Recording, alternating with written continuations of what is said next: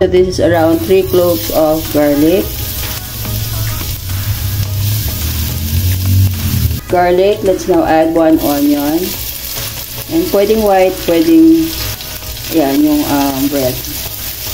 At this point, pwede kayo maglagay ng sahog, pwede hindi, no? So, ito, just 3 pieces of shrimp. Maglagay tayo ng konting salt and pepper. Konting salt, and pepper.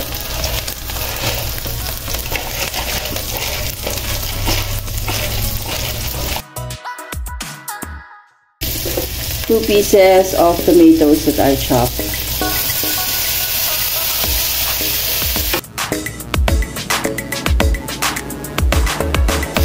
So make sure nilutuin nyo mabuti yung tomatoes ha. For me, mas gusto ko yung, ayan, minamash siya ng konti yung ating tomatoes.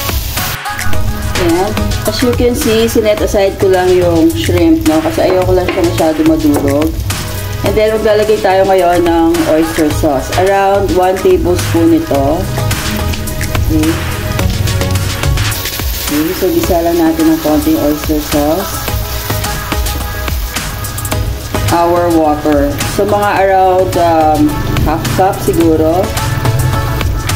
Pa natin muna. So as you can see, kumukulo na siya. And tikman niyo yung broth niya ah, kung okay na siya. And uh, ako tikman ko ulit. Mmm. Mmm. Sobrang malasa. Iba yun. So ngayon, let's add itong pechay natin. So this is the white part ng pechay. So ito yung medyo matigas na part. So kailangan lutuin to na mas maaga.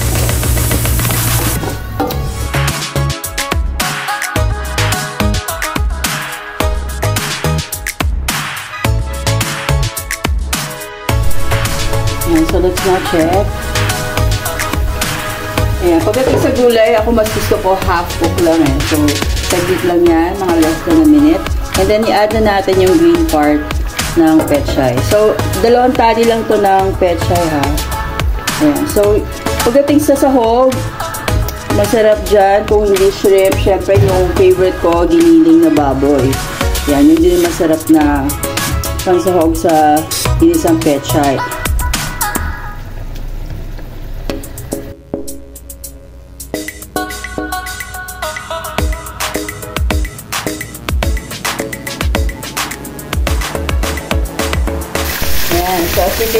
Nag-fry din ako ng marinated na daing na bangus. But gusto ko yung maliliit. Pagdating sa daing na bangus kasi mas malasa siya. Saka, kinakain ko lahat.